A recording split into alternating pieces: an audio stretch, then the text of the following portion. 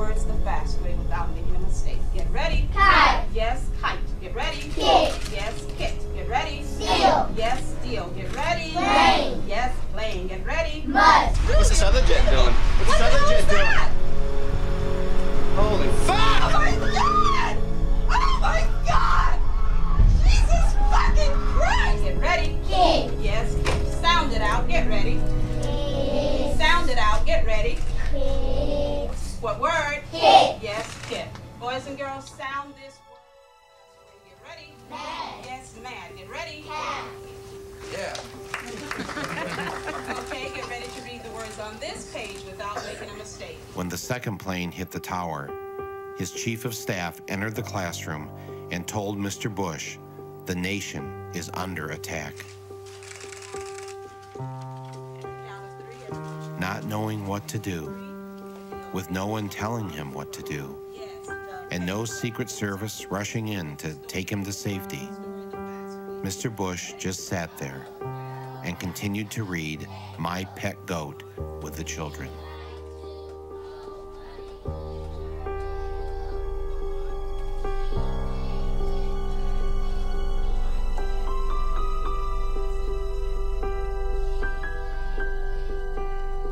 Seven minutes passed with nobody doing anything.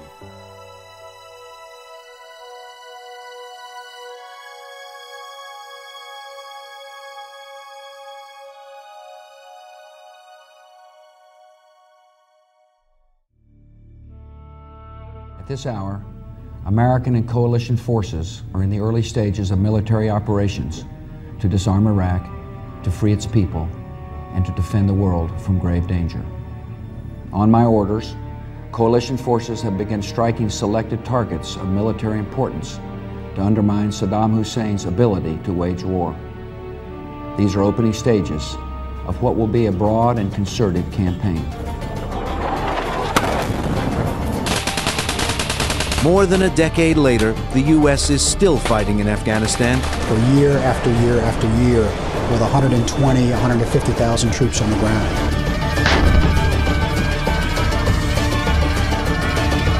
I have determined that it is in our vital national interest to send an additional 30,000 U.S. troops to Afghanistan so that they can target the insurgency and secure key population centers. On my orders, the United States military has begun strikes against Al Qaeda terrorist training camps and military installations of the Taliban regime in Afghanistan.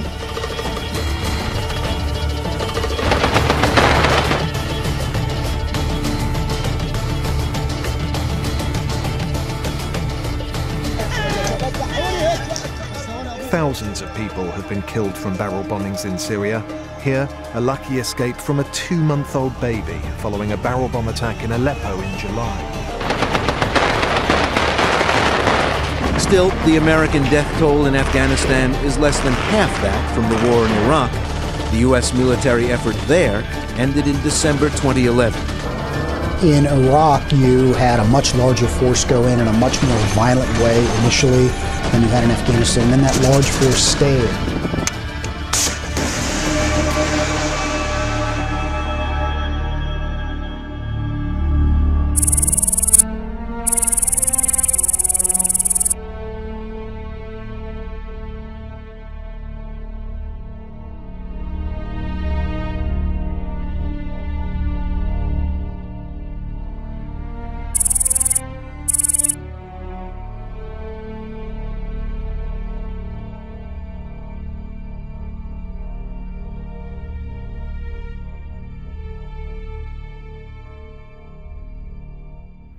Tape one of three tapes on the New Order of Barbarians, referred to on these tapes as simply the New World System.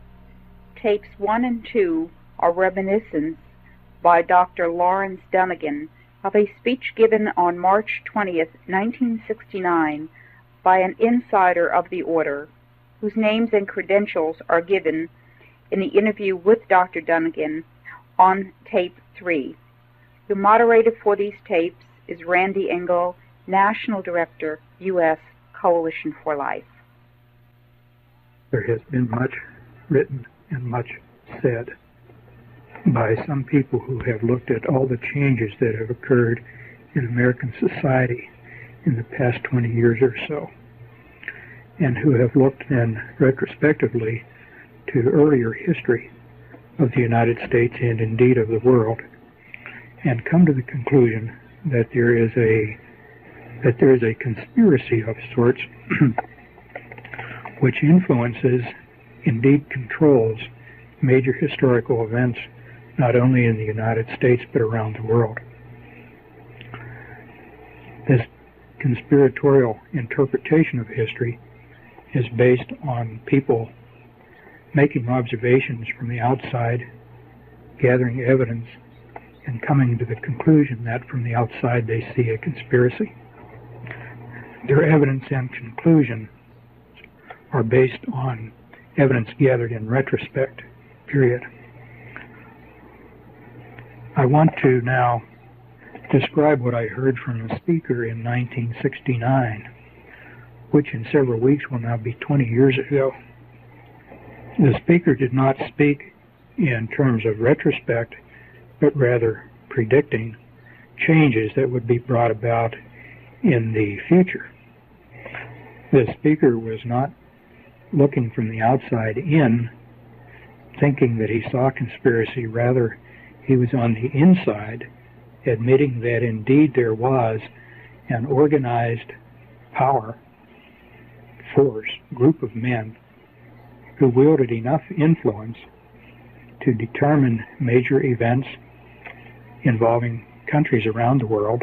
And he predicted, or uh, rather expounded on uh, changes that were planned for the remainder of this century. As you listen, if you can recall the situation, at least in the United States in 1969 and the few years thereafter, and then recall the kinds of changes which have occurred between then and now, almost 20 years later. I believe you'll be impressed with the degree to which the things that were planned to be brought about have already been accomplished. Some of the things that uh, were discussed uh, were not intended to be accomplished yet by 1988, uh, but are intended to be accomplished uh, before the end of this century.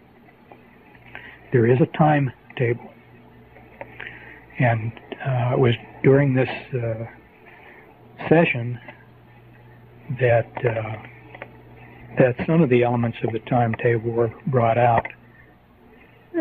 Anyone who recalls early uh, in the days of the Kennedy presidency, uh, the Kennedy campaign, when he spoke of progress in the decade of the 60s, that was kind of a cliche in those days, the decade of the 60s. Well, by 1969, our speaker was talking about the decade of the 70s, the decade of the 80s, and the decade of the 90s. So that uh, I think that terminology, that way of looking and uh, looking at things and expressing things, probably um, all comes from the same source. Prior to that time, I don't remember anybody saying the decade of the 40s and the decade of the 50s. So I think this uh, overall plan and timetable uh, had taken important shape with more predictability to those who control it uh, sometime in the late 50s. That's speculation on my part. In any event, the speaker said that his purpose was to tell us about changes which would be brought about in the next uh, 30 years or so, so that an entirely new worldwide system would be in operation before the turn of the century. As he put it, uh, we plan to enter the 21st century with a running start. He said as we listened to what he was about to present, he said, Some of you will think I'm talking about communism. Well, what I'm talking about is much bigger than communism. Um, at that time, he indicated there is much more cooperation between East and West than most people realize. In his introductory remarks, he commented that uh, he was free to speak at this time. He would not have been able to say what he was about to say even a few years earlier, but he was free to speak at this time because now, and I'm quoting here, everything is in place and nobody can stop us now. That's the end of that quotation. He went on to say that most people don't understand how governments operate, and even people in high positions in governments, including our own, don't really understand how and where decisions are made he went on to say that um, he went on to say that the people who really influence decisions are names that, for the most part, would be familiar to most of us, but he would not use individuals' names or names of any specific organizations. But that if he did, most of the people would be names that were recognized by most uh, of his audience he went on to say that they were not primarily people in public office, but uh, people of prominence who were primarily known in their uh, private occupations or private positions. The speaker was a doctor of medicine, a former professor at a large Eastern university, and he was addressing a group of doctors of medicine, about 80 in number. Uh, his name would not be widely recognized by anybody likely to hear this. And so there's no point in giving his name. The only purpose in recording this is that uh, it may give a perspective to those who hear it regarding the changes which have already been uh, accomplished in the past 20 years or so, and a bit of a preview to what at least some people are planning for the remainder of this century so that we or they would enter the 21st century with a flying start. Some of us may not enter that century. His purpose in telling our group about these changes that were to be brought about uh, was to make it easier for us to adapt to these changes. Indeed, as he quite accurately said, uh, they would be changes that uh, would be very surprising and in some ways uh, difficult for people to accept. And he hoped that uh, we, as sort of his friends, would uh, make the adaptation more easily if we knew somewhat beforehand what what to expect. Somewhere in the introductory remarks, he insisted that nobody have a tape recorder and that nobody take notes, which for a professor was a very remarkable kind of thing to uh, expect from an audience. Something in his remarks suggested that uh, there could be negative repercussions against him if his if it became widely known uh, what he was about to say to to our group, if it became widely known that indeed he had spilled the beans, so to speak. Um, when I first heard that, I thought maybe that was sort of an ego trip, somebody enhancing uh, his own importance. But as the uh, revelations unfolded, I began to understand why he might have had some concern about not having it widely known what was said, although this, although this was a fairly public forum where he was speaking. Remarks were delivered, but nonetheless he asked that uh, no notes be taken, no tape recorder be used, uh, suggesting there might be some personal danger to himself uh, if these revelations were uh, widely publicized. Again, as the remarks began to unfold and some of the rather outrageous things that were said at that time, they certainly seemed outrageous. Uh, I made it a point to try to remember as much of what he said as I could, and during the subsequent weeks and months and years, to connect my recollections to simple events around me, uh, both to aid my memory for the future in case I wanted to do what I'm doing now, record this, and also to uh, try to maintain a perspective on what would be developing if indeed it followed the predicted pattern, which it has. At this point, so that I don't forget to uh, include it later, I'll just include some statements that were made from time to time throughout the presentation. Um, just having a general bearing on the, the whole presentation. One of the statements was having to do with change.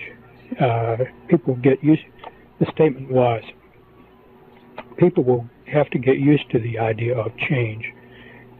So used to change that uh, they'll be expecting change. Nothing will be permanent.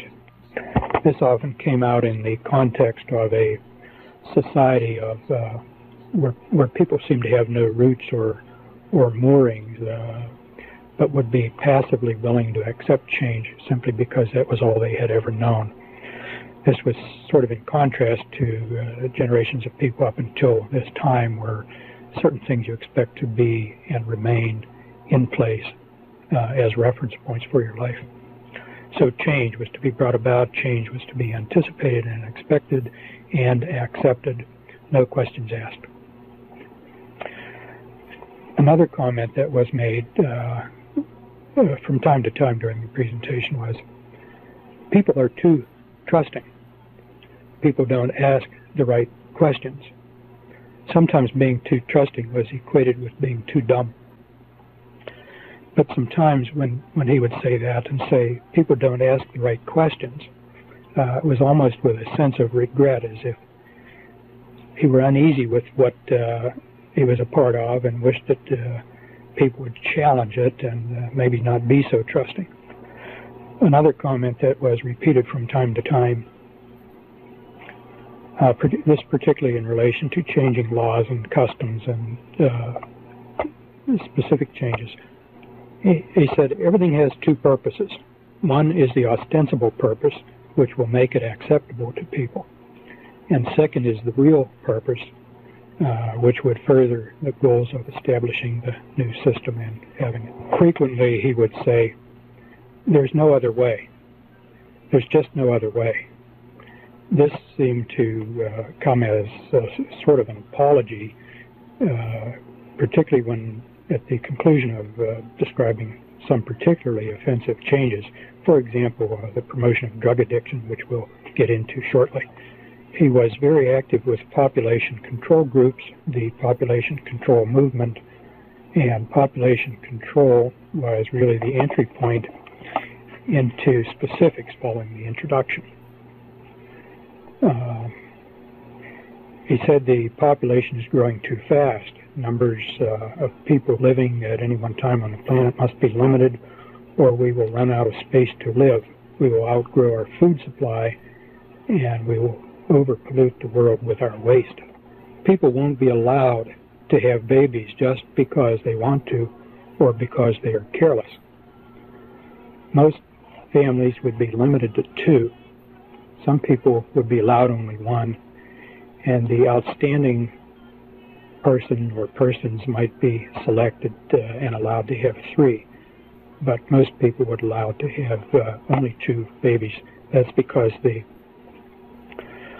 zero population growth uh, is 2.1 children per completed family, so something like every 10th family might be allowed the privilege of the third baby.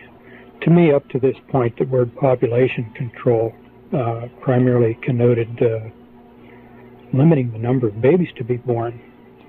But uh, this remark about what people would be allowed and then what followed made it quite clear that when you hear population control, that means more than just controlling births. It means control of every endeavor of, an enti- of the entire world population.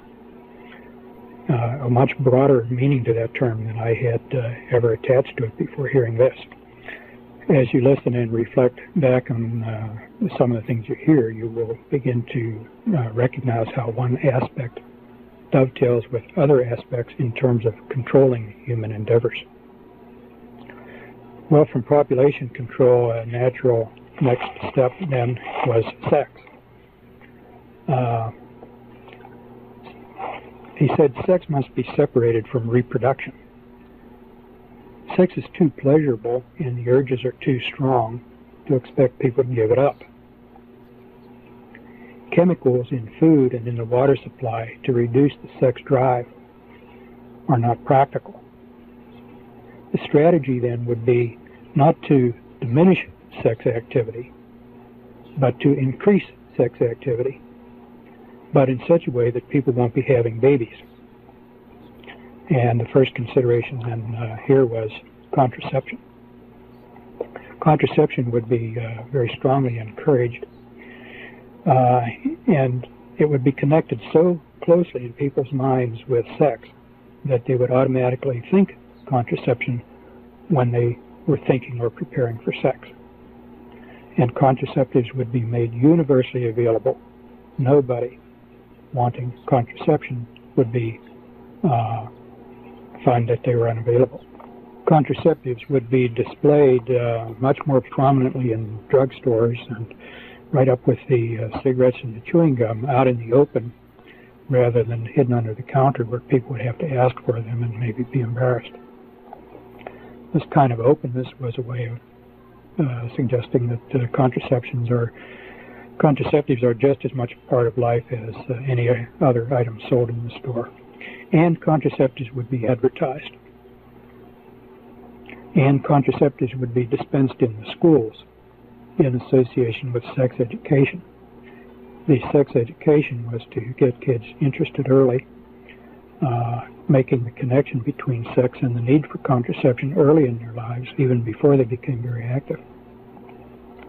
At this point, I was recalling some of my teachers, particularly in high school, and found it totally unbelievable to think of them agreeing to, much less participating in distributing contraceptives to students. But uh, that only reflected my lack of understanding of how these people operate. That was before the school-based clinic uh, programs got started.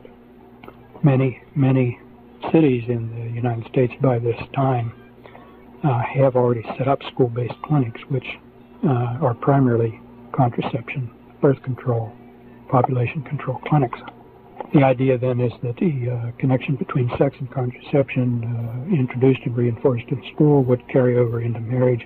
Indeed, if uh, young people, when they matured, decided to get married, uh, marriage itself would be diminished in importance.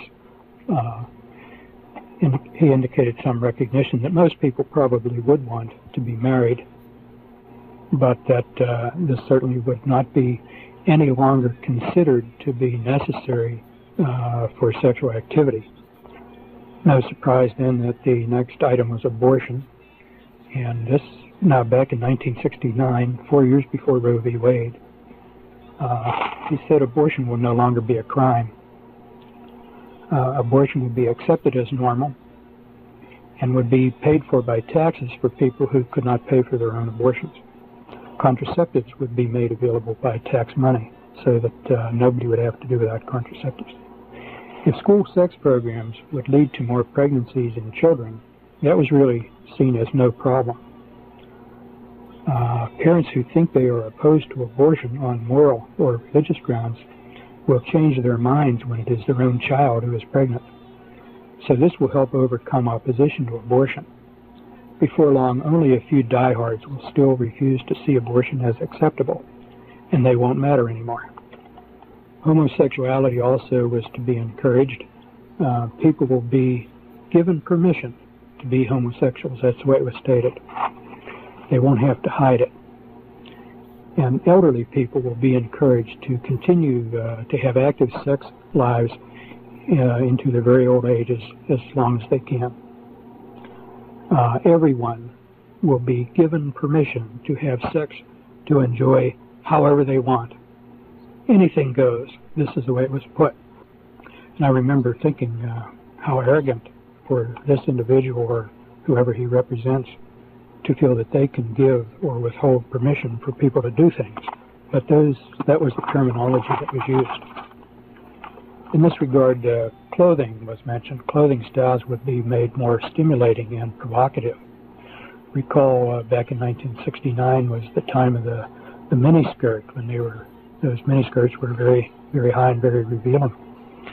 Uh, he said it's not just the amount of skin that is expressed exposed that makes clothing sexually seductive, but other more subtle things are often more suggestive. Uh, things like movement and the cut of clothing and the uh, kind of fabric, the positioning of uh, accessories on the clothing. If a woman has an attractive body, why should she not show it? Was uh, one of the statements. There's uh, was not detail on what was meant by provocative clothing, but uh, since that time, if you watch the changes in clothing styles, uh, blue jeans are cut in a way that they're much more tight-fitting through the crotch. Uh, they form wrinkles. Uh, wrinkles essentially are arrows, uh, lines which direct one's vision to certain anatomic areas. And this was around the time of the uh, burn your bra activity. Um, he indicated that a lot of women should not go without a bra. They need a bra to be attractive. So instead of banning bras and burning them, uh, bras would come back, but uh, they would be thinner and softer, allowing more natural movement. Um, and uh, it was not specifically stated, but certainly a very thin bra is much more revealing of uh, the nipple and what else is underneath uh, than the heavier bras that were in style up to that time. Technology. Uh, earlier he said uh, sex and reproduction would be separated. You would have sex without reproduction, and then technology was reproduction without sex. Uh, this would be done in the laboratory. Indicated already much, much research was underway uh, about uh, making babies in the laboratory. There was some elaboration on that, but I don't remember the details, uh, how much of that technology has come to my attention since that time. I don't remember. I don't remember in a way that I can distinguish what was said from what I subsequently have just learned uh, as general medical information. Families. Families would be limited in size. Uh, we already alluded to uh, not being allowed uh, more than two children. Divorce would be made easier and more prevalent. Most people who marry will marry more than once more people will not marry.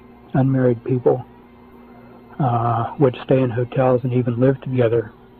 Uh, that would be very common. Nobody would even ask questions about it. It would be widely accepted as uh, no different from married people being together. More women will work outside the home. More men will be transferred to other cities in their jobs. More men would travel into work. Therefore, it would be harder for families to stay together um, this would tend to uh, make the marriage relationship less stable and therefore tend to make people less willing to have babies. And the extended family would be smaller and more remote. Travel would be easier, less expensive for a while, so that people who did have to travel would uh, feel that they could get back to their families, uh, not that they were abruptly being uh, made remote from their families.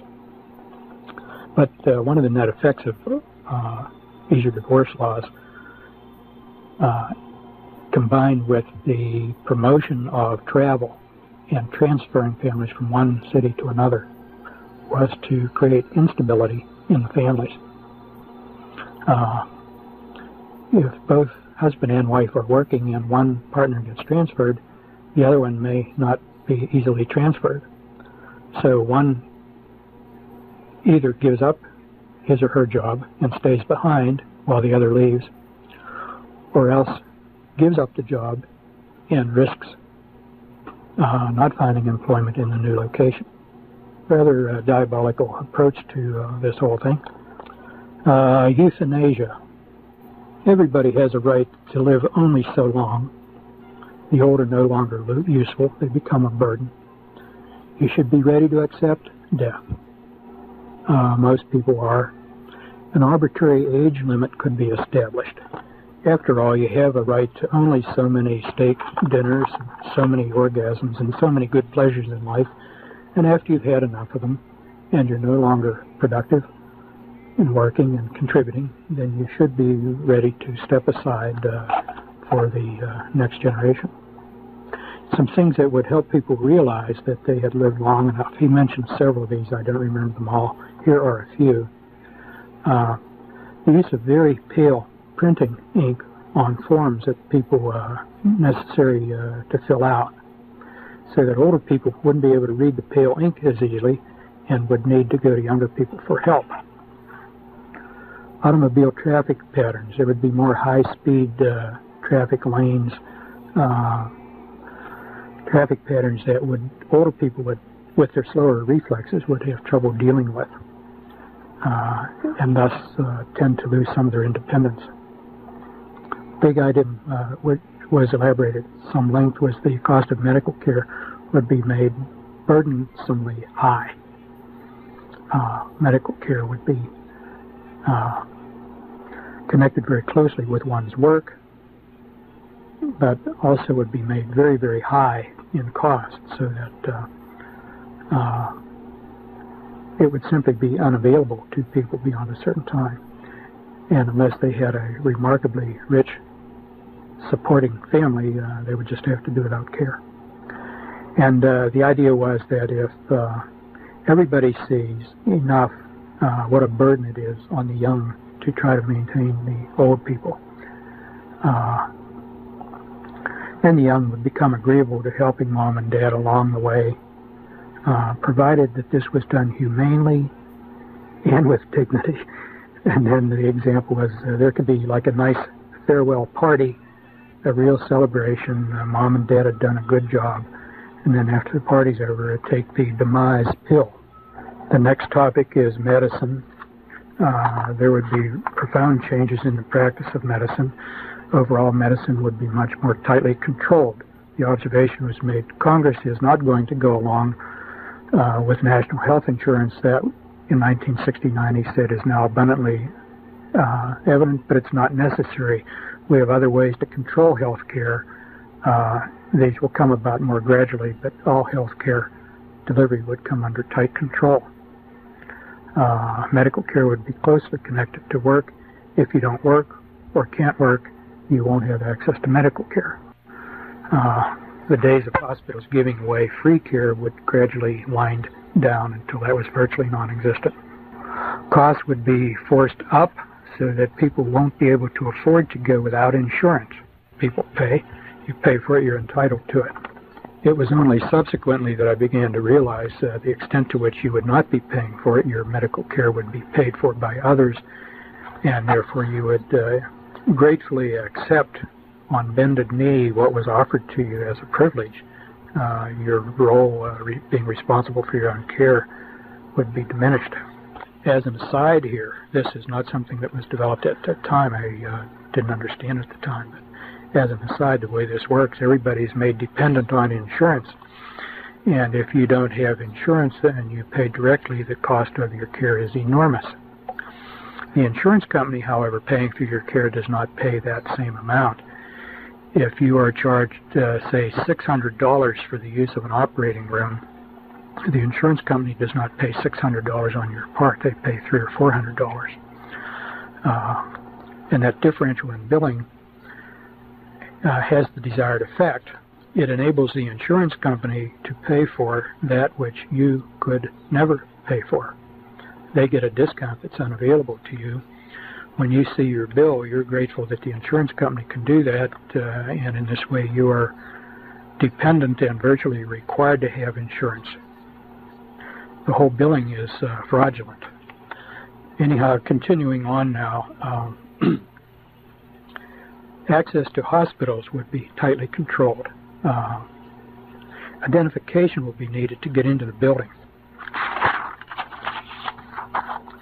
Security in and around hospitals would be established and gradually increased so that uh, nobody without identification could get in or move around inside the building theft of hospital equipment, things like typewriters and microscopes and so forth, would be uh, allowed and uh, exaggerated, reports of it would be exaggerated, so that this would be the excuse needed to establish the need for strict security until people got used to it. Uh, and anybody moving about in a hospital would be required to wear an identification badge with uh, a photograph and telling uh, why he was there, uh, employee or lab technician or visitor or whatever. And this is to be brought in gradually, getting everybody used to the idea of identifying themselves uh, until it was just accepted. This need for ID to move about uh, would start in small ways, um, hospitals, some businesses, but gradually expand to include everybody in all places. It was observed that hospitals can be used to confine people uh, for the treatment of criminals. This did not mean necessarily medical treatment. Uh, at at that at that time, I did not know the word psycho prison, as in the Soviet Union, but uh, uh, without trying to recall all the details, basically he was uh, describing the use of hospitals both for treating the sick and for confinement of criminals for reasons other than the medical well-being of the criminal definition of criminal was not given. The image of the doctor would change. No longer would the, he be seen as an individual professional in service to individual patients, but the doctor would be uh, gradually uh, recognized as a highly skilled technician, um, and uh, his job would change. The job uh, is to include uh, things like executions by lethal injection. The image of the doctor as being a powerful, independent person would have to be changed. And he went on to say, uh, doctors that make entirely too much money, uh, they should advertise like any other product. Lawyers would be advertising too. uh, keep in mind this was a, an audience of doctors being addressed by a doctor, and it was uh, interesting that he would make uh, some rather insulting statements to his audience uh, without fear of uh, antagonizing us. The solo practitioner would become a thing of the past. Uh, a few diehards might try to hold out, but most uh, doctors would be employed by an institution of one kind or another. Uh, group practice would be encouraged, uh, corporations would be encouraged, and then once the corporate image of medical care, as this gradually became more and more acceptable, doctors would more and more become employees rather than independent contractors. And along with that, of course, uh, unstated but necessary is the employee serves his employer, not his patient. So that's, uh, and we've already seen quite a lot of that uh, in the last 20 years, and currently more on the horizon. Uh, the term HMO was not used at that time, but as you look at HMOs, uh, uh, you see this is the uh, way that uh, medical care is being taken over since the national health insurance approach uh, did not uh, get through the Congress. A few die-hard doctors may try to uh, make go of it remaining in solo practice, uh, remaining independent, which parenthetically is me. Um, but they would suffer great loss of income. They'd be able to scrape by maybe, but never really live comfortably as those who were willing to become employees of the system. Ultimately, there would be no room at all for the solo practitioner after the system is entrenched. Uh, next heading to talk about is health and disease. He said there would be new diseases to appear, which uh, had not ever been seen before, would be very difficult to diagnose, and be untreatable, uh, at least for a long time. No elaboration was made on this, but uh, I remember not long after hearing this presentation, when I had a puzzling uh, diagnosis to make, I would be wondering, is this what he was talking about? Is this a case of what he was talking about? Uh, some years later, uh, as AIDS uh, ultimately developed, I think AIDS was at least one example of what he was talking about.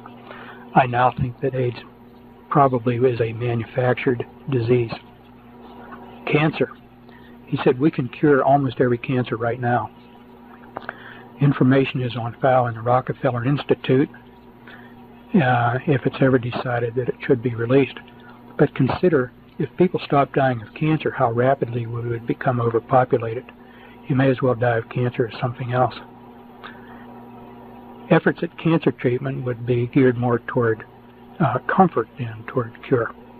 There was some statement that ultimately the cancer cures which were being hidden in the Rockefeller Institute would come to light because independent researchers might uh, bring them out uh, despite these efforts to suppress them. But at least for the time being, uh, letting people die of cancer uh, was a good thing to do because it would uh, slow down the problem of overpopulation. Another very interesting thing was heart attacks. Uh, he said, there is now a way to simulate a real heart attack. It can be used as a means of assassination. Only a very skilled pathologist who knew exactly what to look for at an autopsy could distinguish this from the real thing. I thought that was a very surprising and shocking thing to hear from this particular man at that particular time. Uh, this and business of the cancer cure uh, really still stand out sharply in my memory because they were so shocking and at that time seemed to me out of character. He then went on to talk about nutrition and exercise, uh, sort of in the same framework. People would not have to people would have to eat right and exercise right to live as long as before. Most won't. Uh, this in the connection of uh, nutrition, there was no specific statement that I can recall as to particular nutrients that would be either uh, inadequate or in excess. In retrospect, I tend to think he meant high salt diets and high fat diets would predispose toward uh, high blood pressure and premature arteriosclerotic heart disease, and that if people were too dumb or too lazy to exercise as they should, then their uh, dietary, their uh, circulating fats would go up and predispose to disease. And he said something about diet information about proper diet would be widely available, but most people, uh, particularly stupid people who had no right to continue living anyway, um, they would ignore the advice and just go on and eat what was convenient and tasted good. There were some other unpleasant things said about food. I just can't recall what they were, but I do remember of uh, having uh, reflections about wanting to plant a garden in the backyard to get around whatever these contaminated foods would be. Uh, I regret I don't remember the details. Uh, the rest of this about nutrition and uh, hazardous nutrition. Uh, with regard to exercise, he went on to say that uh, more people would be exercising more, especially running. uh, because every everybody can run. You don't need any special equipment or place. Uh, you can run wherever you are. Uh, as he put it, people will be running all over the place.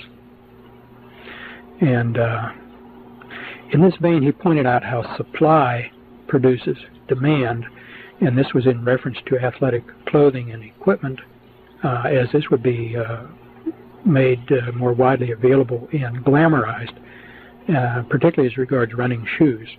Uh, this would stimulate people to uh, develop an interest in running, and as part of a whole sort of public propaganda campaign, people would be encouraged then to uh, buy the attractive sports equipment and to get into exercise.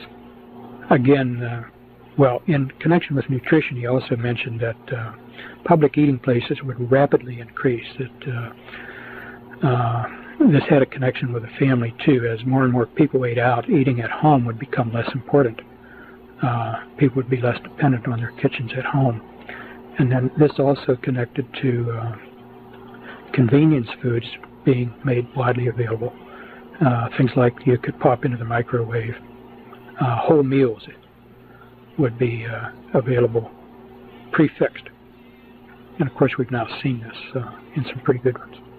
But this whole different approach to eating out and to uh, uh, previously uh, prepared meals being eaten in the home was uh, predicted at the time to be brought about convenience foods. And the convenience foods, though, would be part of the hazard. Anybody who was lazy enough to want the convenience foods rather than fixing his own also better be energetic enough to exercise. Uh, because if he was too lazy to exercise and too lazy to uh, fix his own food, uh, then he didn't deserve to live very long. This was all presented as sort of a moral judgment about people and what they should do with their energies. People who are smart, who would learn about nutrition, and who are disciplined enough to eat right and exercise right are better people and are the kind you want to live longer. Somewhere along in here, there is also something uh, about accelerating the onset of puberty, and this was said in connection with health, and later in connection with education, and connected to accelerating the process of evolutionary change. There was a statement that we think we can push evolution faster and in the direction we want it to go. I remember this only as a general statement. I don't recall if any uh, details were given uh, beyond that. Another area of discussion was religion. Uh, this is a an avowed atheist speaking, uh, and he said religion is not necessarily bad. A lot of people seem to need religion with its mysteries and rituals, so they will have religion. But the major re religions of today have to be changed because they are not compatible with the changes to come. The old religions will have to go, especially Christianity. Once the Roman Catholic Church is brought down, the rest of Christianity will follow easily. Then a new religion can be accepted for use all over the world. It will incorporate something from all of the old ones to make it more easy for people to accept it and feel at home in it. Most people won't be too concerned with religion. They will realize that they don't need it. In order to do this, the Bible will be changed. It will be rewritten to fit the new religion. Gradually, key words will be replaced with, with new words having various shades of meaning. Then the meaning attached to the new word uh, can be close to the old word, and as time goes on, other shades of meaning of that word can be emphasized, and then gradually that word replaced with another word. Um, I don't know if I'm making that clear, but the idea is that uh, everything in Scripture need not be rewritten, just key words replaced by other words, and uh, the variability in meaning attached to any word can be uh, used as a uh, tool to change the entire meaning of Scripture and therefore make it acceptable to this uh, new religion. Most people won't know the difference, and this is another one of the times where he said, The few who do notice the difference won't be enough to matter. Then followed one of the most surprising statements of the whole presentation. He said, Some of you probably think the churches won't stand for this. And he went on to say, The churches will help us. There was no elaboration on this. Uh, it was unclear just uh, what he had in mind when he said the churches will help us. In retrospect, I think uh, some of us now can understand what he might have meant at that time. I recall then only of thinking, no, they won't, and remembering our Lord's words uh, where he said to Peter, Thou art Peter, and upon this rock I will build my church, and the gates of hell will not prevail against it. So, uh, yes, uh, some people in the churches might help, and in the subsequent 20 years we've seen how uh, some people in churches have helped. But we also know that our Lord's words uh, will stand, and the gates of hell will not prevail. Another area of discussion was education, and uh, one of the things in connection with education that uh, I remember connecting with what he said about religion was, uh, uh, in addition to changing the Bible, he said that uh, classics in literature would be changed. Um, I seem to recall Mark Twain's writings was given as uh, one example, but he said the casual reader reading a revised version of a classic would never even suspect there was any change and somebody would have to go through word by word to even recognize that any change was made in these classics. The changes would be so subtle, but the changes would be such as to uh, uh, promote the uh, acceptability of the new system. As regards education, he indicated that uh, kids would spend more time in schools, but in many schools they wouldn't learn anything. Uh, they'll learn some things, but not as much uh, as formerly. better schools in better areas with better people, their kids will learn more. Uh, in the better schools, learning would be accelerated. And this was another time where he said, we think we can push evolution. By pushing kids to learn more, he seemed to be suggesting that uh, their brains would evolve and that their offspring then would uh, evolve uh, sort of pushing evolution in uh, uh, where, where kids would learn and be more intelligent at a younger age, as if this pushing would alter their physiology. Overall, schooling would be prolonged. Uh, this meant prolonged throughout the school year. I'm not sure what he said about a long school day. I do remember he said that school was planned to go all summer, that the summer school vacation would become a thing of the past not only for schools but for other reasons. People would begin to think of uh, vacation times year round, not just in the summer. Uh, for most people, it would take longer to complete their education. Uh, to get what originally had been in a bachelor's program uh, would now require advanced degrees and more schooling. So that a lot of school time uh, uh, would be just wasted time. Good schools would become more competitive. I inferred when he said that that he was including all schools, elementary up through college, but I don't recall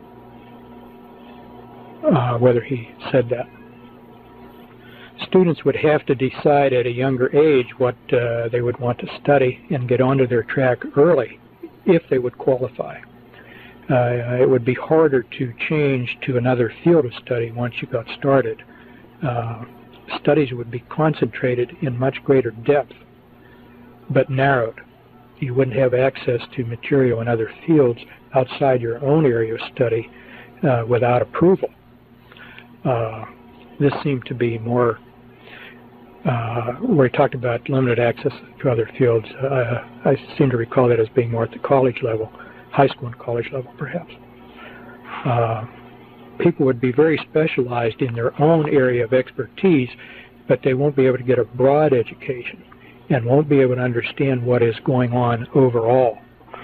He was already talking about computers in education, and at that time he said anybody who wanted computer access or access to books that were not directly related to their field of study uh, would have to have a very good reason uh, uh, for so doing Otherwise, access would be denied. Uh, another angle was that the schools would become uh, more important in people's overall life. Uh, kids, in addition to their academics, would have to get into school activities unless they wanted to feel completely out of it. But spontaneous activities among kids, the thing that came to my mind when I heard this was uh, sandlot football and sandlot baseball teams that we uh, worked up uh, as kids growing up. I said to kids uh, wanting any activities outside of school would be almost forced to get them through the school. There would be few opportunities outside. Now, the pressures of uh, the accelerated academic program and uh, uh, accelerated demands where kids would feel they had to be part of something, uh, one or another athletic club or some school activity. Uh, these pressures he recognized would cause some students to burn out said the smartest ones will learn how to cope with the pressures and to survive. There will be some help available to students in handling stress, but the unfit won't be able to make it. They will then move on to other things. Uh, in this connection, and later on in the connection with uh, drug abuse and alcohol abuse, indicated that psychiatric services to help would be increased dramatically in all the pushing for achievement, uh, it was recognized that uh, many people would need help, and the people worth uh, keeping around would be able to accept and benefit from that help and still be super achievers.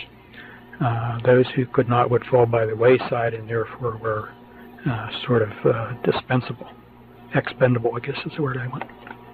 Education would be lifelong, uh, adults would uh, be going to school. There'll always be new information that adults must have to keep up.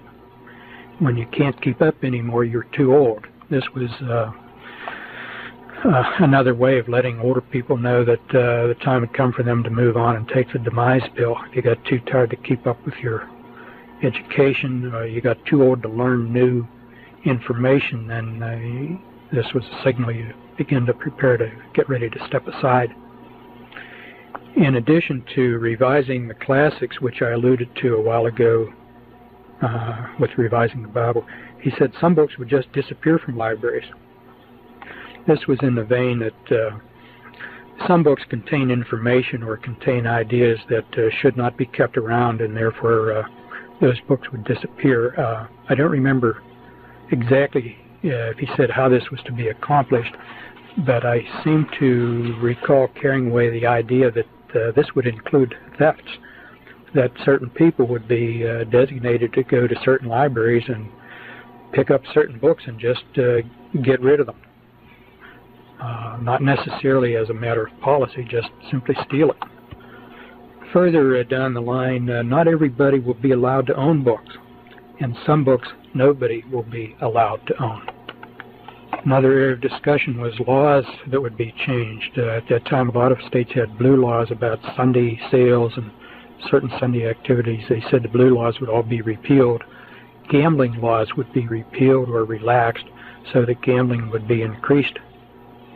Uh, indicated then that governments would get into gambling. We've had a lot of uh, state lotteries pop up around the country since then. And uh, at the time, uh, we were already being told that would be the case uh, why should all that gambling money be kept in private hands when uh, the state could benefit from it? Was the rationale behind it. But people should be able to gamble if they want to, so it would become a civil activity rather than a private or illegal activity. Bankruptcy laws would be changed. I don't remember the details, but just that they would be, and uh, I know subsequent to that time they have been. Antitrust laws would be changed or be interpreted differently, or both. In connection with the changing antitrust laws, there was some statement that, uh, in a sense, competition would be increased.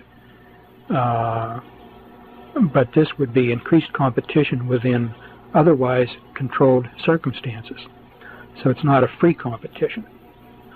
Uh, I, re- I, recall having the impression that it was uh, like competition but within members of a club, there would be nobody outside the club who would uh, be able to compete. Sort of like uh, teams competing within a professional sports league. If you're in the NFL or the uh, uh, American or National Baseball leagues. You compete within the league, but the league is all in agreement on what the rules of competition are. Not a not a really free competition. Drug use would be increased, alcohol abuse would be increased, and law enforcement efforts against drugs would be increased. On first hearing that, it sounded like a contradiction. Uh, why increase drug abuse and simultaneously increase law enforcement against drug abuse? Uh, but the idea is that, uh, in part, the increased availability of drugs would provide a sort of law of the jungle whereby the weak and the unfit would be selected out. Uh, there was a statement made at that time uh, before the earth was overpopulated, there was a law of the jungle where uh, only the fittest survived. You had to be able to protect yourself against the elements and wild animals and disease, and if you were fit, you survived. Uh, but now that we've become so civilized, we're over civilized, and the unfit are unable to survive only at the expense of those who are more fit. And the uh, abuse of drugs then would restore, in a certain sense, the law of the jungle and selection of the fittest for survival. News about drug abuse and law enforcement efforts would tend to keep drugs in the public consciousness uh, and uh, would also tend to reduce uh, this unwarranted American complacency that the world is a safe place and a nice place. The same thing would happen with alcohol. Alcohol abuse would be both promoted and uh, demoted at the same time. The vulnerable and the weak would respond to the promotions and therefore use and abuse more alcohol. Uh, drunk driving would become more of a problem, and stricter rules about driving under the influence would be established so that uh, more and more people would lose their privilege to drive. This also had connection with uh, something we'll get to later about overall restrictions on travel. Uh, not everybody should be free to travel uh, the way they do now in the United States. People don't have a need to travel that way. It's a privilege, was kind of the high-handed way it was put.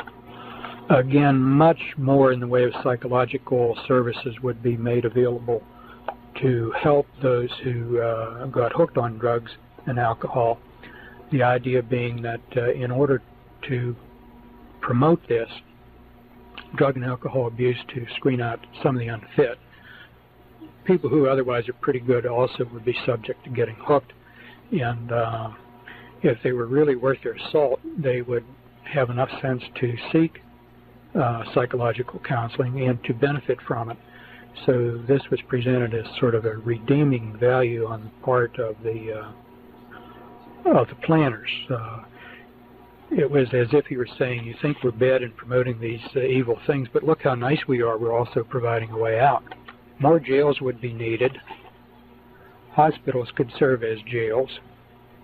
Some new hospital construction would be designed so as to make them adaptable to jail-like use. Nothing is permanent. Streets would be rerouted, renamed. Areas you had not seen in a while then would become unfamiliar.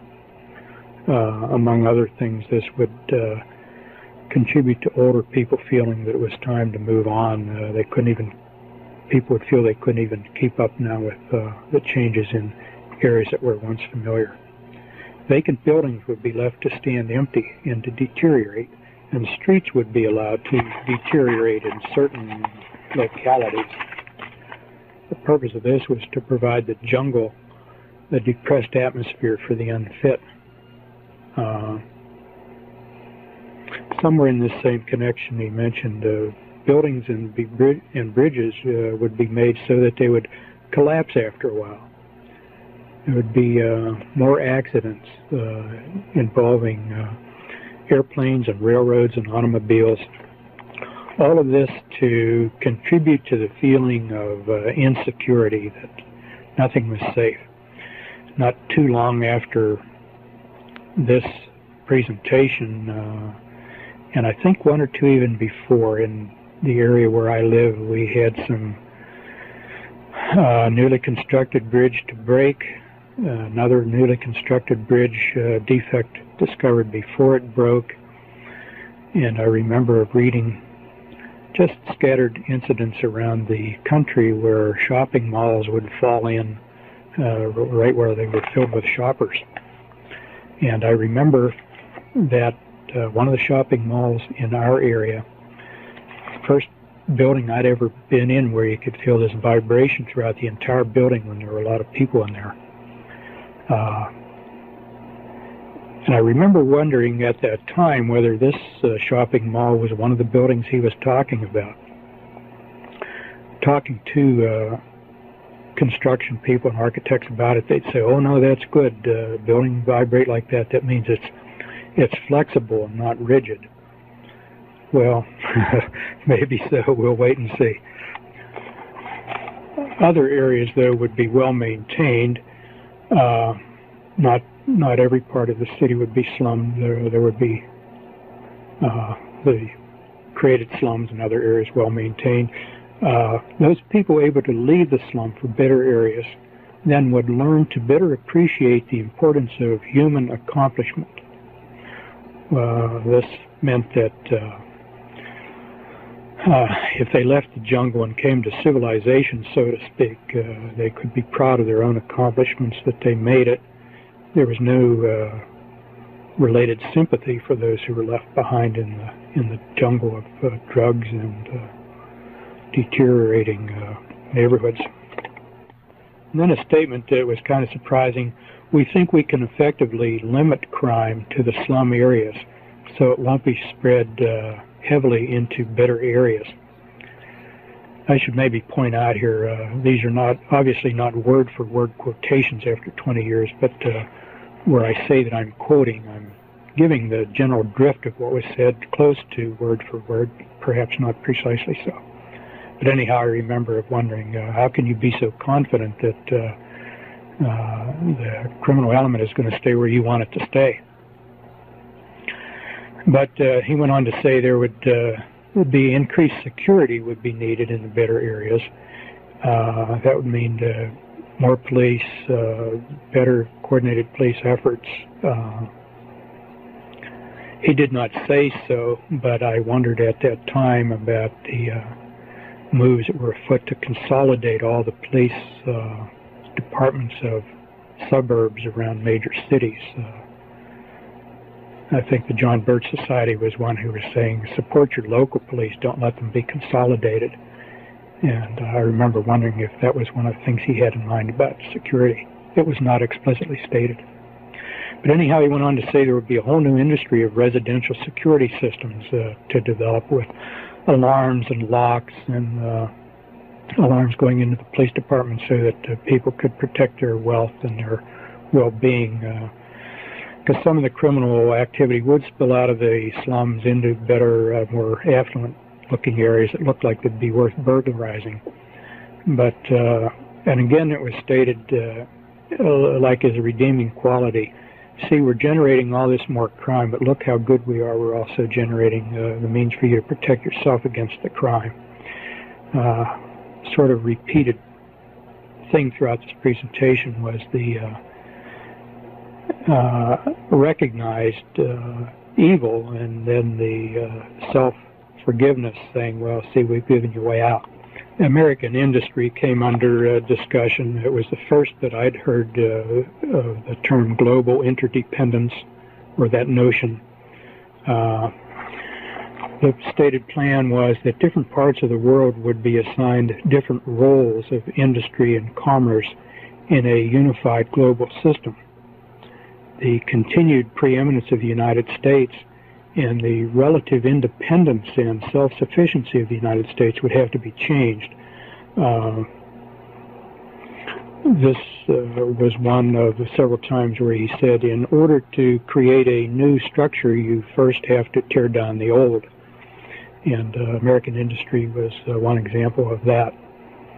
Uh, our system would have to be curtailed in order to give other countries a chance to build their industries uh, because uh, they would otherwise they would not be able to compete against the United States. And this was especially true of our heavy industries uh, that would be cut back uh, while the same industries were being developed in other countries, notably Japan. And at this point, there was uh, some discussion of steel, and particularly automobiles. I remember saying that uh, automobiles would be uh, imported from Japan on a uh, uh, equal footing with uh, our own domestically produced automobiles, but the Japanese product would be better. Uh, things would be made so they would break and fall apart. Uh, that is in the United States, uh, so that people would tend to prefer the imported variety, and this would give a bit of a boost to uh, foreign competitors. Uh, one example uh, was Japanese. In 1969, Japanese automobiles, if they were sold here at all, I don't remember, but they certainly weren't very popular. But the idea was you would get a little bit disgusted with your uh, Ford, uh, GM, or Chrysler product or whatever because uh, little things like window handles would fall off more and plastic parts would break uh, that, had they been made of metal, would hold up. Your patriotism about buying American would soon uh, give way to practicality that if you bought uh, Japanese or German or imported, uh, that it would last longer and you'd be better off patriotism would go down uh, down the drain then. There was mention elsewhere of things uh, being made to fall apart too. Uh, uh, one of the I don't remember specific items that uh, if they were even stated uh, other than automobiles, but I do recall having the impression, uh, sort of in my imagination, of uh, a surgeon having something fall apart in his hands in the operating room at a critical time uh, was he including this sort of thing in his uh, discussion? But somewhere in this discussion about things being made deliberately defective and unreliable, not only was to tear down patriotism, but to be just a little source of irritation to people who would use such things. Again, the idea that you not feel terribly secure, promoting the notion that uh, the world isn't a terribly reliable place. The United States was to be kept strong in information, communications, high technology, education, and agriculture.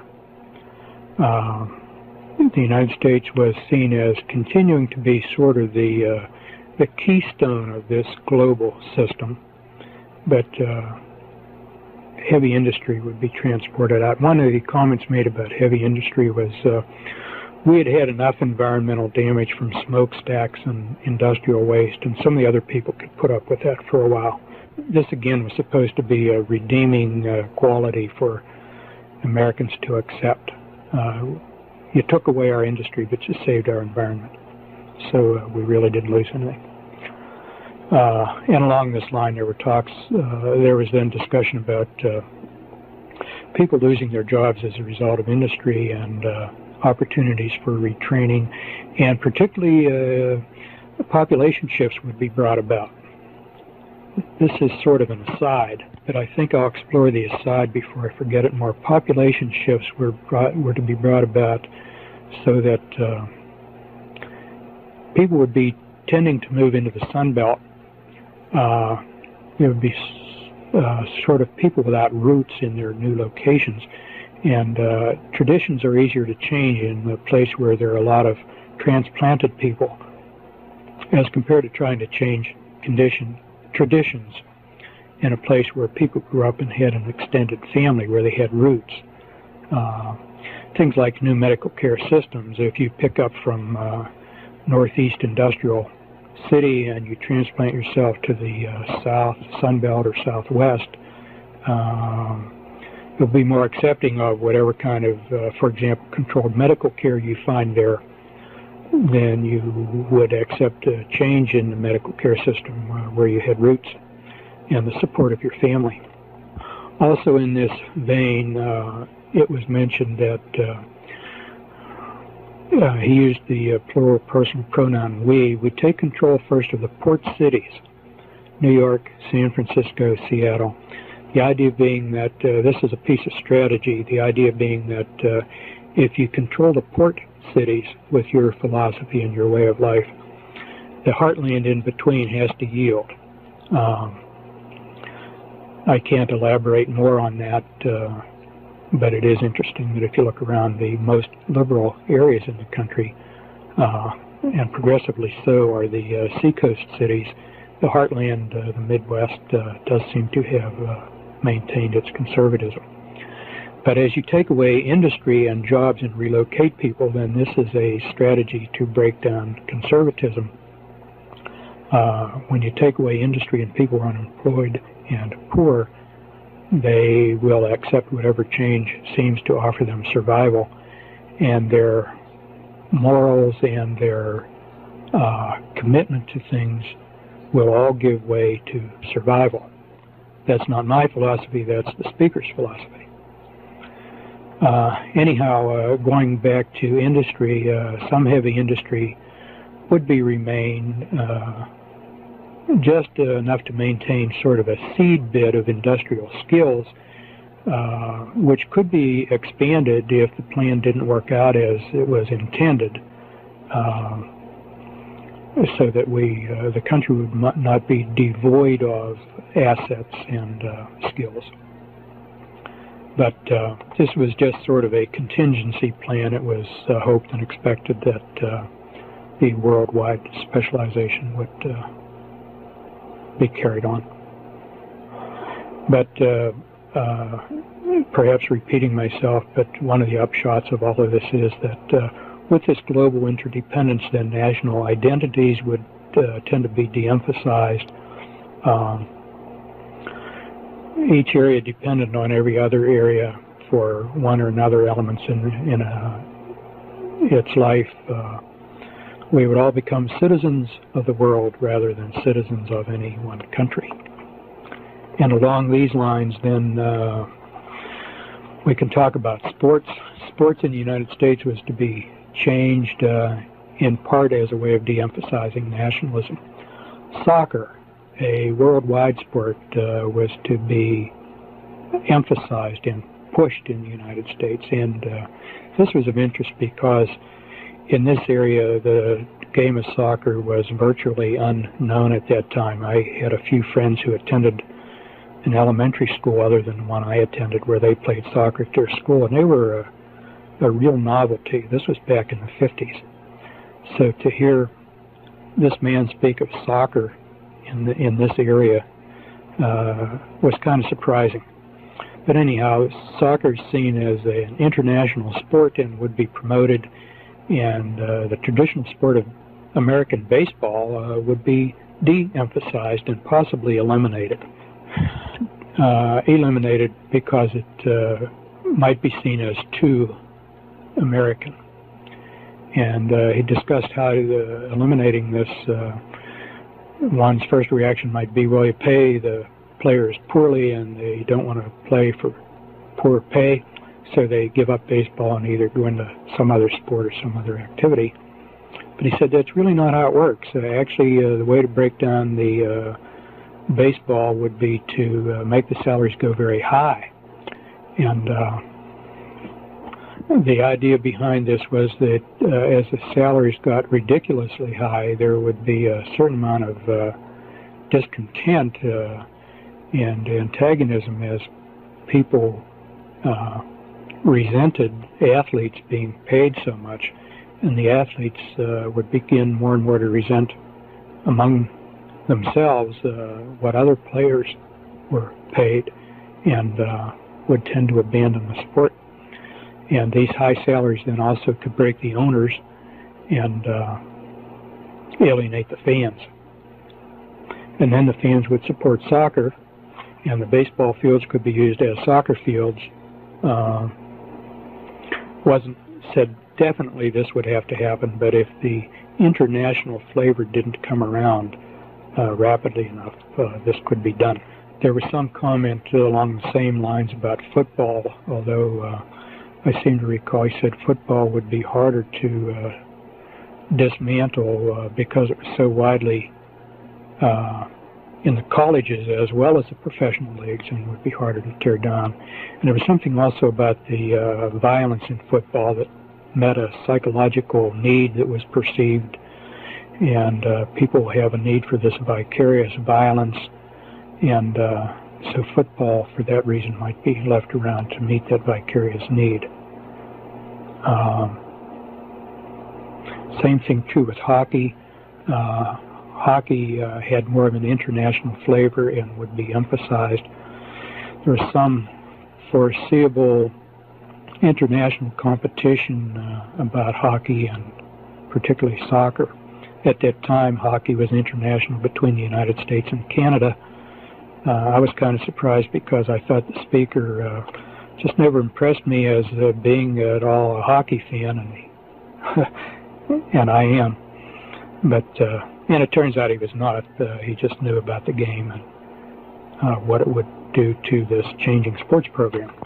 But in any event, soccer was to be the keystone of athletics because it's already a worldwide sport. Uh, it's South America and Europe and parts of Asia and the United States should get on the bandwagon.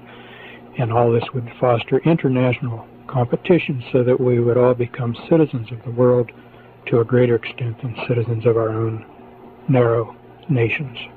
There was some discussion about hunting. Uh, uh, not surprisingly, hunting requires guns, and gun control is a big uh, element in these plans. And uh, I don't remember the details much, but uh, the idea is that gun ownership is a privilege and not everybody should have guns, and hunting was an inadequate excuse for owning guns, and uh, everybody should be uh, restricted in gun ownership. The few privileged people who should be allowed to hunt could maybe rent or borrow a gun from official quarters rather than own their own. After all, everybody doesn't have a, have a need for a gun, was the way it was put. Uh, very important with sports was sports for girls. Uh, athletics would be pushed for girls, and this was intended to replace dolls baby dolls would still be around, a few of them, but you would not see the uh, uh, number and variety of dolls, and dolls would not be pushed because girls should not be thinking about babies and reproduction. Girls should be out on the athletic field uh, just as the boys are. Girls and boys really need not be all that different. Uh, tea sets were to go the way of dolls, and all these things that uh, traditionally were thought of as feminine would be uh, greatly de-emphasized as girls got into uh, more masculine pursuits. And uh, just one of the things I recall was that the sports pages uh, would be full of the scores of girls' teams just right there, right along with the boys' teams. Uh, and that's uh, recently begun to, after 20 years, recently begun to appear in our local papers. The girls' sports scores are right along with the boys' sports scores. So all of this to change the role model of what a young girl should look to be uh, while she's growing up. She should look to be an athlete uh, rather than to look forward to being a mother. Uh, entertainment, movies would gradually be made more explicit as regards sex and language.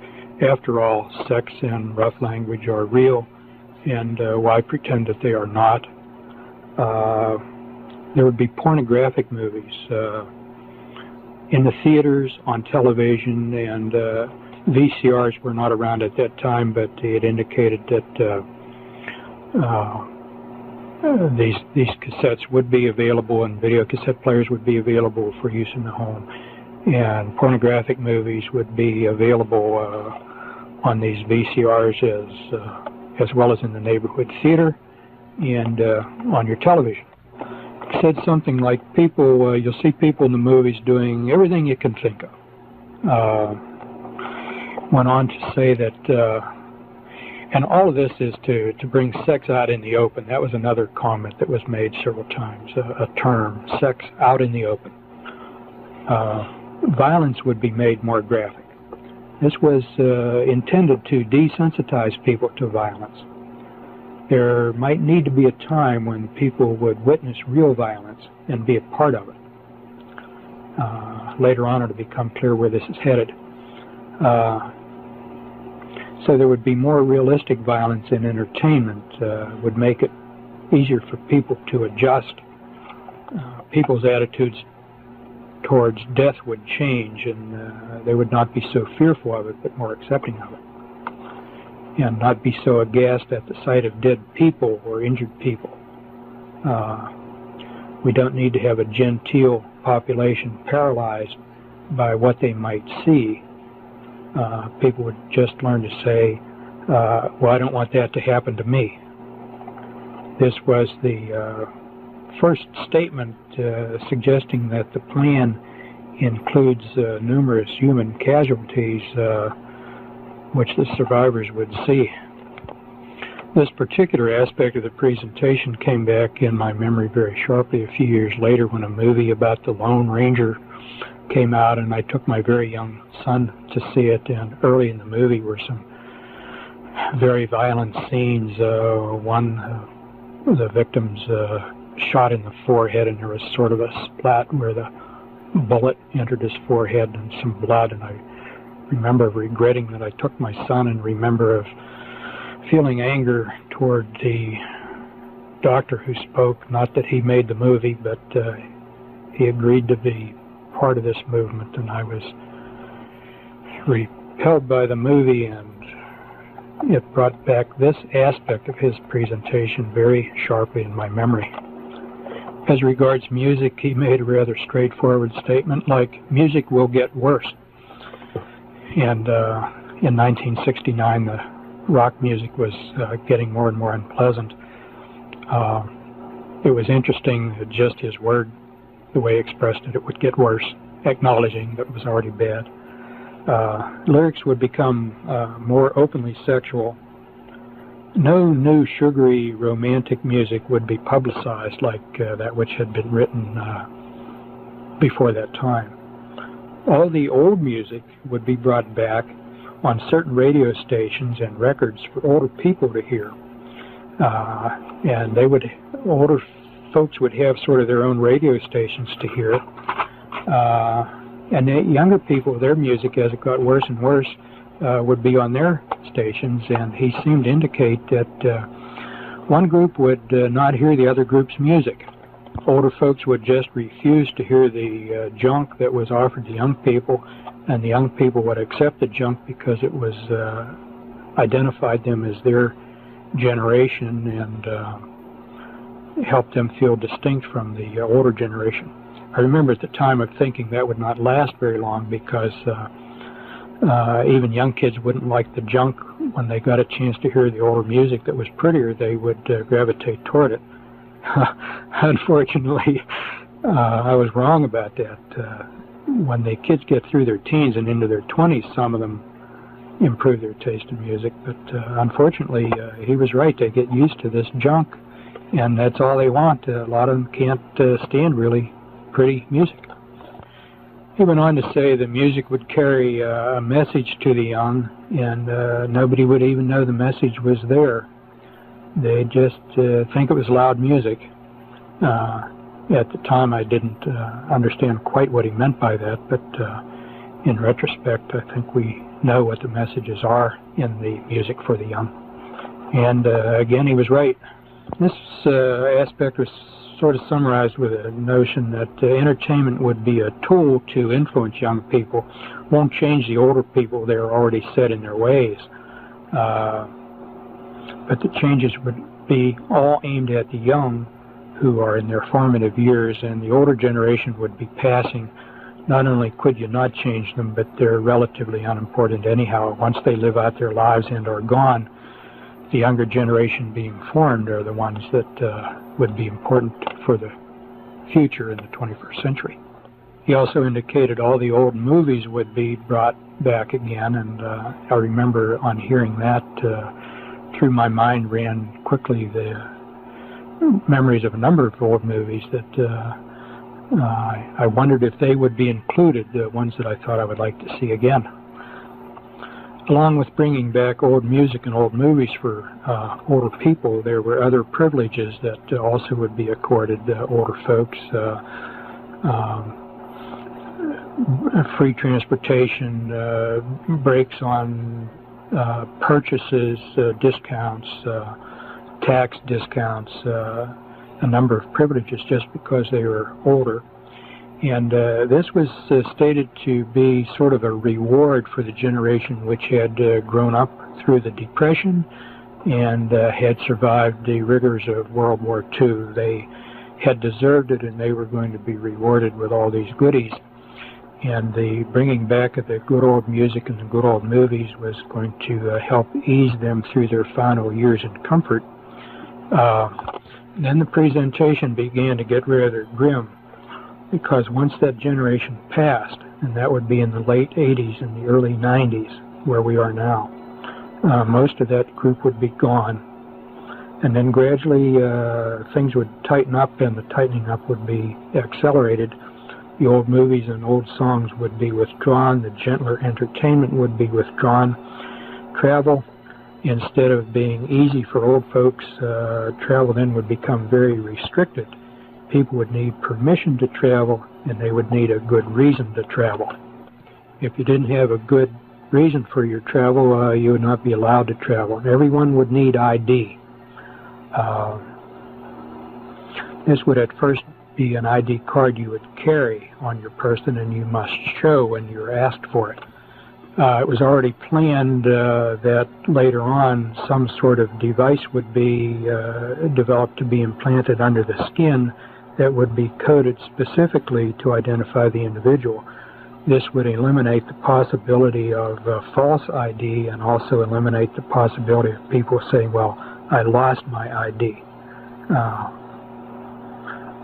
the difficulty about the skin implanted ID was stated to be getting a material that would stay in or under the skin without causing a foreign body reaction, whereby the body would reject it uh, or cause infection, and uh, that this would uh, have to be material uh, on which information could be recorded and retrieved by some sort of scanner while it was not rejected by the body. Silicone uh, was mentioned. Uh, silicone uh, at that time uh, was thought to be well tolerated. It was used to augment breasts. Women who felt their breasts were too small would get silicone implants. I guess that still goes on. In any event, silicone was seen at that time as the promising material to do both, to be retained in the body without rejection and to be able to retain information retrievable by electronic means. Food. Uh, food supply would come under tight control. Uh, if population growth didn't slow down, food shortages could be created uh, in a hurry and people would realize the dangers of overpopulation.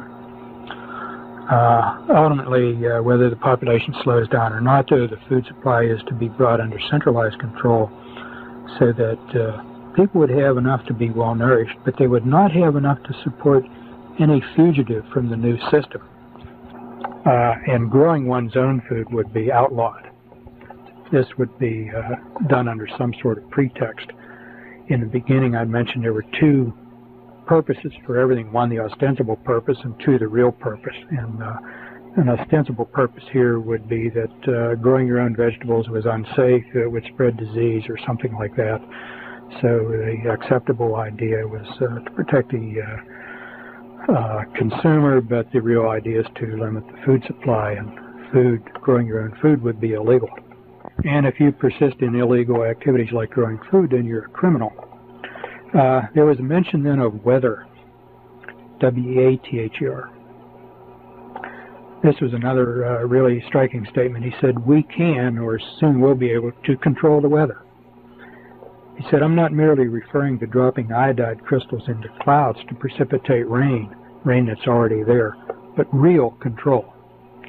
And uh, weather was uh, seen as uh, a weapon of war, a weapon of uh, influencing public policy. You could make rain or withhold rain in order to uh, influence certain areas uh, and bring them under your control. Um, one, there were two sides to this that were kind of striking. He said, on the one hand, you can make drought during the growing season uh, so that nothing will grow, and on the other hand, you can make for very heavy rains during the harvest seasons so that the fields are too muddy to bring in the harvest. And indeed, one might be able to do both. There was no statement how this would be done. It was stated that it was either already possible or very, very close to being possible. Uh, politics, he said very few people know how government really works. Something to the effect that elected officials are influenced in ways that uh, they don't even realize. And they carry out plans that have been made for them, and they think they are making, uh, that they are authors of the plans. But uh, actually, they've been, uh, are manipulated in ways that they don't understand. Somewhere in the presentation, he made two statements that I want to insert at this time. I don't remember just where they were made, but uh, uh, they're valid uh, as in terms of the general overall view. The one statement: people can carry in their minds and act upon two contradictory ideas at the same time, provided these uh, two contradictory ideas are kept far enough apart. And the other one, uh, the other statement is, you, uh, you can know pretty well how rational people are going to respond to certain circumstances or to certain information that they encounter. So to determine the response you want, you need only control the kind of data or information uh, that they are presented or the kinds of circumstances they're in. And being rational people, they'll do what you want them to do. They may not fully understand what they're doing or why. Somewhere in this connection then uh, was a statement admitting that some scientific research data could be and indeed has been falsified in order to bring about desired results. And uh, here it was uh, said, uh, people don't ask the right questions. Uh, some people are too trusting. Now, this was an interesting statement because the speaker and the audience, all being doctors of medicine and supposedly very objectively, dispassionately scientific, and science being the be all and end all, well, to falsify data, scientific research data, in that uh, setting is like blasphemy in the church. You just don't do that. Anyhow, out of all of this was to, uh, on the political scene, was to come the new international governing body, probably to come through the UN uh, and with the World Court, but uh, not necessarily through those structures. It could be brought about in other ways. Uh, acceptance of the UN at that time was seen as not being as wide as had been hoped. Efforts would continue to give the United Nations uh, increasing importance. Uh, people would be more and more used to the idea of relinquishing some national sovereignty. Economic interdependence would foster this goal from a peaceful standpoint. Avoidance of war would foster it uh, from the standpoint of uh, worrying about hostilities. Uh, it was uh, recognized that doing it peaceably was better than doing it by war. Uh, it was stated at this point that war is obsolete. And I thought that was an interesting phrase uh, because obsolete means something that once was seen as useful is no longer useful. But war is obsolete, uh, this being because of the uh, nuclear bombs. war is no longer controllable formerly uh, wars could be controlled. But if nuclear weapons would fall into the wrong hands, uh, there could be an unintended nuclear disaster.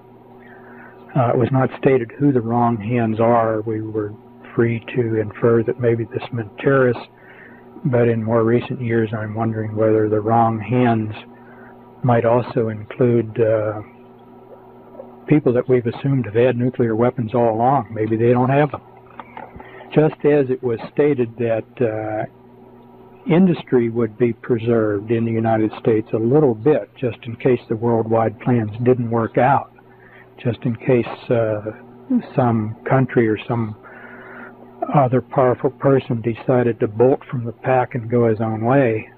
Uh, one wonders whether this might also be true with nuclear weapons when uh, uh, you hear that uh, he said they might fall into the wrong hands. There was some statement that uh, the possession of nuclear weapons uh, has been tightly controlled, uh, uh, sort of implying that uh, anybody who had nuclear weapons was intended to have them. that would necessarily have included the Soviet Union, if indeed they have them. But it, I recall at the time of wondering, uh, are you telling us or are you implying that uh, that this country uh, willingly gave nuclear weapons to the Soviets? At that time, that seemed like a terribly unthinkable thing to do, much less to admit. The leaders of the Soviet Union seemed to be so dependent on the West, though one wonders whether there might have been some fear that they would try to assert independence if they indeed had these weapons. So, I don't know. It's something to speculate about, perhaps. Who did he mean when he said if these weapons fall into the wrong hands? Maybe just terrorists. We'll see. Anyhow, the new system would be brought in, uh, if not by uh, peaceful cooperation, everybody willingly yielding national sovereignty, then by bringing the nation to the brink of nuclear war. Uh, and everybody would be so fearful uh, uh, as hysteria was created about the possibility of nuclear war that there would be a strong public outcry to negotiate a peace and people would willingly give up national sovereignty uh, in order to achieve peace and thereby this would uh, bring in the new international political system. Uh, this was stated, and a uh, very impressive thing to hear then. Uh, if there were too many people in the right places who resisted this, there might be a need to use one or two, possibly more nuclear weapons. Uh, as it was put, uh, this would be possibly needed to convince people that we mean business. Uh, and that was followed with a statement that uh, by the time one or two of those went off, then everybody, uh, even the most reluctant, would yield. He said something about this negotiated peace would be very convincing. This kind of uh, in a framework or in a context uh, that the whole thing was rehearsed, uh, but nobody would know it. people hearing about it would be convinced that it was a genuine negotiation between uh, hostile enemies who finally had come to the realization that peace was better than war.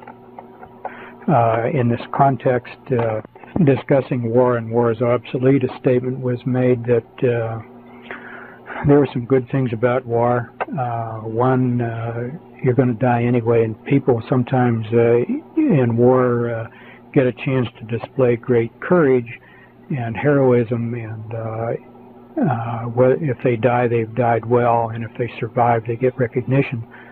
So that in any case, the hardships of war on the soldiers uh, are worth it because that's the reward they get out of their warring.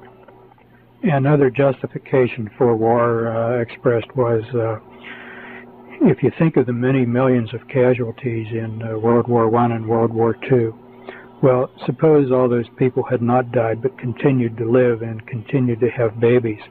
Uh, there would be millions upon millions, uh, and we would already be overpopulated. So those two great wars served a uh, benign purpose in delaying overpopulation. But now there are technological means uh, for the individual and governments to control overpopulation. So uh, in this regard, war is obsolete. It's no longer needed. And then it's, uh, again, it's obsolete because nuclear weapons uh, could destroy the whole universe. Uh, war, once war which once was controllable, uh, could get out of control. And so for these two reasons, it's now obsolete. There was discussion of terrorism. Uh, terrorism would be uh, used widely in Europe and other parts of the world uh, terrorism that at that time was felt would uh, not be necessary in the United States. It possibly could become necessary if the United States uh, did not move uh, rapidly enough into accepting the system. Um, but at least in the foreseeable future, it was not planned and uh, very benignly on their part oh, maybe terrorism would not be required here. but the implication being that it would be indeed used if uh, if it was necessary. Along with this came a little bit of a scolding that Americans have had it uh, too good anyway, and uh, just a little bit of terrorism would help convince Americans that the world uh, indeed is a dangerous place, or can be if we don't uh, relinquish control to the proper authorities. There was discussion of money and banking. Uh, one statement was uh, inflation is uh, infinite. You can put an infinite number of zeros after any number and put the decimal points wherever you want. Uh, this is an indication that inflation is a tool of controllers. Uh, money was would become predominantly credit. It was already already money is primarily a credit thing, but uh, exchange of uh, money would be uh, not cash or, or, palpable things, but uh, ele electronic credit signals.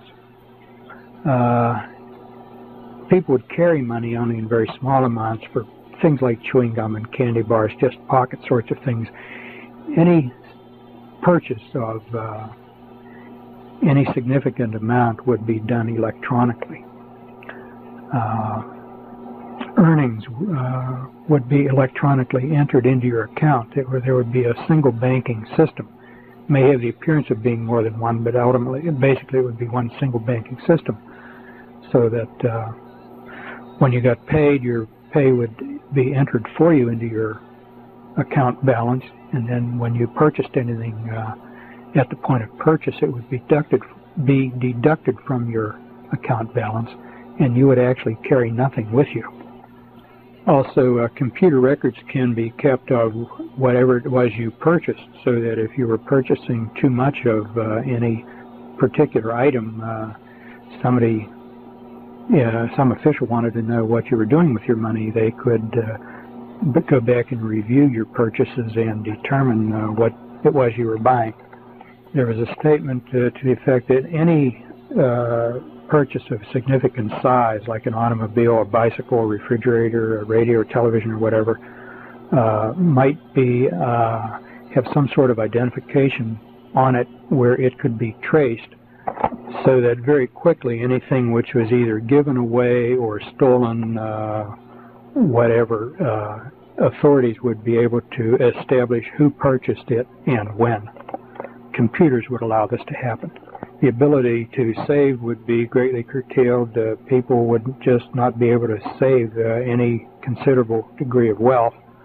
Uh, there was some statement of recognition that wealth represents power, and uh, wealth in the hands of uh, a lot of uh, people is not good for the, the people in charge.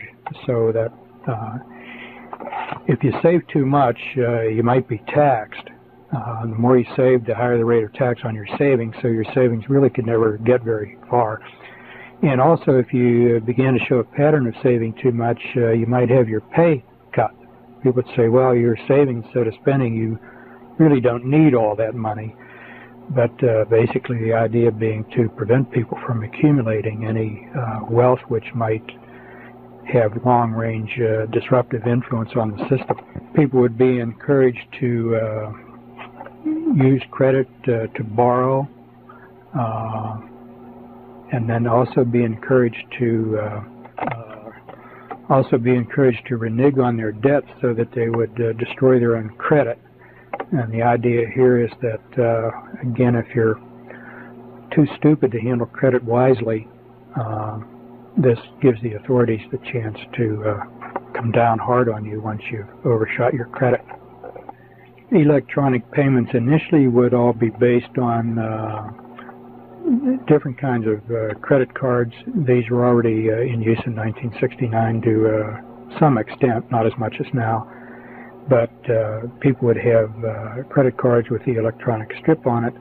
And once they got used to that, then it would be pointed out the advantage of having all of this combined into a single credit card serving a single monetary system uh, and then you don't have to carry around all that plastic. So the next step would be the single card, and then the next step would be to replace the single card with a skin implant. Uh, the single card could uh, be lost or stolen, give rise to problems, uh, could be exchanged with somebody else to confuse identity. Uh, the skin implant, on the other hand, uh, would be uh, not losable or counterfeitable or transferable to another person. So you and your accounts would be identified without uh, any possibility of error.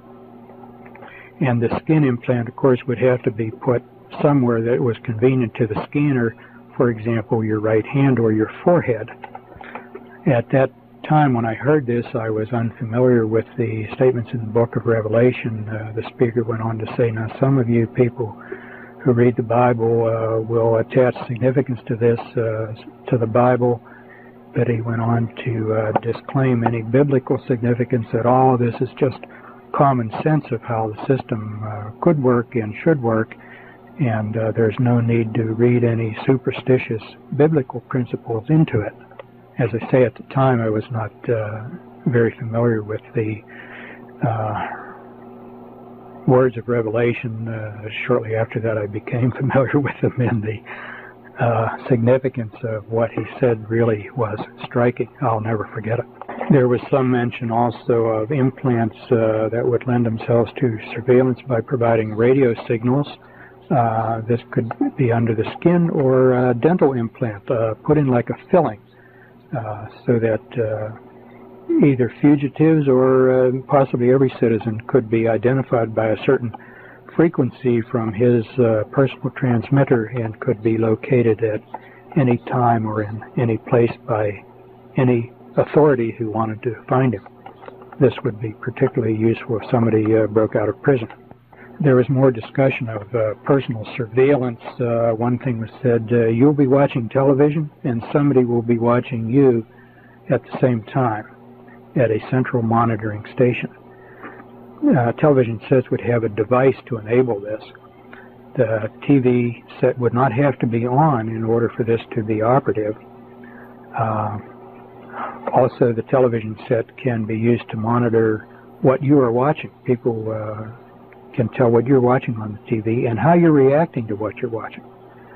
Uh, and uh, you would not know that you were being watched while you were watching your television.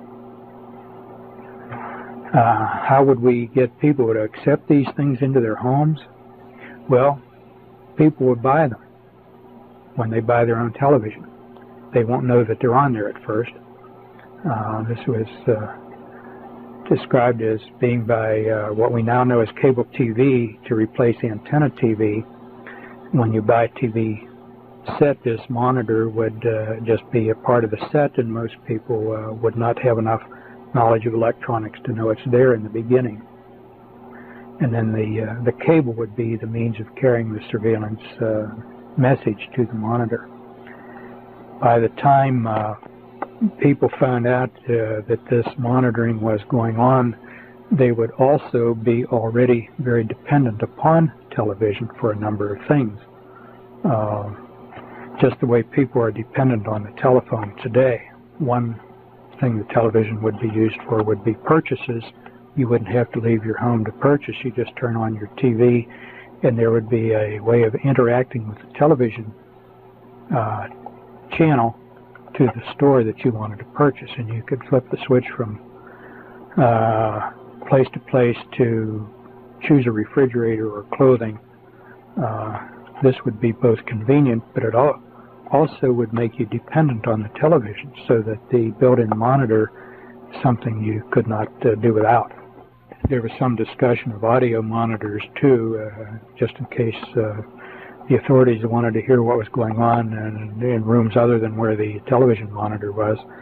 And uh, in regard to this, uh, statement was made, any wire going into your house, for example, your television, your telephone wire, could be used this way. I remember this in particular because it was fairly near the end of the presentation, and as we were leaving the uh, meeting place, I said something to one of my colleagues about going home and pulling all the wires out of the house, except that I knew I couldn't get by without the telephone. And uh, the colleague I spoke to just seemed numb. He, uh, to this day, I don't think he even remembers what we talked about or, or what we heard that time because I've asked him. But at that time, he seemed uh, stunned. Before all these changes would take place uh, with electronic monitoring, it was mentioned that there would be service trucks all over the place uh, working on the wires and putting in new cables. Uh, this is how people uh, who were on the inside would know how things were progressing. Privately owned housing would become a thing of the past. Cost of housing uh, and financing housing would gradually be made so high that uh, most people couldn't afford it. People who already own their houses would be allowed to keep them, but as years go by, it would be more and more difficult for young people to buy a house. Young people would more and more become renters, particularly in apartments or condominiums. More and more uh, unsold houses would stand vacant. Uh, people just couldn't buy them uh, but the cost of housing would not come down. You'd right away think, well, the vacant house, the price will come down, people will buy it. But there was some statement that, uh, to the effect that the price would be held high, even though there was uh, many of them available, so that free marketplaces would not operate. People would not be able to buy these, and gradually more and more the population would be forced into small apartments, small apartments which would not accommodate very many children.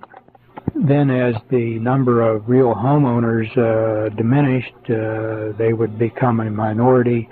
There would be no sympathy for them from the majority who dwelled in apartments, and uh, then these homes could be taken by uh, increased taxes or other regulations that would be detrimental to home ownership and would be acceptable to the majority. Ultimately, people would be assigned where they would live, and it would be common to have non-family members living with you. This by way of your not knowing just how far you could trust anybody. Um, this would all be under the control of a central housing authority. Have this in mind in 1990 when the census comes out and they ask how many bedrooms in your house, how many bathrooms in your house, do you have a finished game room? This information really is personal and of no uh, national interest to uh, government under our existing Constitution, but you'll be asked those questions and uh, decide how you want to respond to them. When the new system takes over, uh, people will be expected to sign uh, allegiance to it, indicating they don't have any reservations or holding back to the old system. There just won't be any room, he said, for people who won't go along we can't have such people cluttering up the place, so such people would be taken to special places. And here I don't remember the exact words, but the uh, inference I drew was that at these special places where they were taken, uh, then they would uh, not live very long. He may have said something like disposed of humanely, but I don't remember very precisely uh, just the impression that uh, the uh, system was not going to support them when they would not go along with the system. That would leave death as the only alternative. Somewhere in this vein, he said uh, there would not be any martyrs. Uh, when I first heard that, I thought he meant that people would not be killed, but uh, as the presentation developed, uh, what he meant was uh, they would not be killed in such a way or disposed of in such a way that they could serve as inspiration to other people the way martyrs do. Uh, rather, he said something like this uh, People will just disappear. Just a few additional items sort of uh, thrown in here at the end, which I failed to include uh, where they belong more appropriately. One, uh, the bringing in of the new system, he said, probably would occur on a weekend in the winter. Everything would shut down on Friday evening, and uh, Monday morning, when everybody wakened, there would be an announcement made that the uh, new system was in place. During the process of getting the United States ready for these changes, um, he commented everybody would be busier with less leisure time and less opportunity for people to really look about and see what was going on around them. Also, there would be more changes, uh, more difficult to keep up as far as one's investments. Investment instruments would be changing, policies, interest rates changing, so that it would be a difficult job just to keep up with what you had already earned. Interesting about automobiles, there would it would look as though there were many, many varieties of automobiles, but when you looked very closely, uh, there would be great duplication It would be made to look different with chrome and uh, wheel covers and this sort of thing. But looking closely, uh, one would see that the uh, same automobile was made by more than one manufacturer.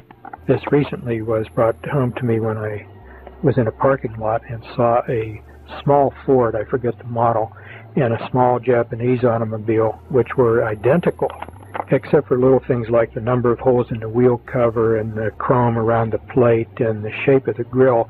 But if you looked at the basic parts of the automobiles, they were identical. They just happened to be parked side by side uh, where I was struck with this, and uh, I was again reminded of what had been said many years ago.